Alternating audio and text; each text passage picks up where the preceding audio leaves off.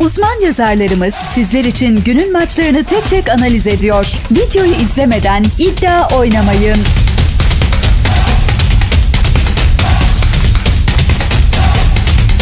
İtalya Serie A'da Monza ile Roma karşı karşıya geliyor. Karşılaşmayı değerlendirmeye ev sahibi Monza ile başlayalım. 36 puanla 11. sırada yer alan Monza son 5 maçından 3 galibiyet, 2 beraberlikle ayrıldı. Son olarak Salernitana'yı deplasmanda 2-0 ile geçen Monza iç sahadaki son maçında ise Milan'ı 4-2 mağlup etmişti. Roma ise 44 puanla 6. sırada bulunuyor. Son olarak Torino'yu 3-2 mağlup eden Roma deplasmandan galibiyette ayrılma peşinde, zorlu ve keyifli bir karşılaşma olmasını bekliyorum, gollü bir. Maç olur, 2, 501.77-20.00 Maçla ilgili senin de yorumun varsa yorumlarda sen de paylaş. Videomuzu beğenip kanalımıza abone olmayı unutmayınız.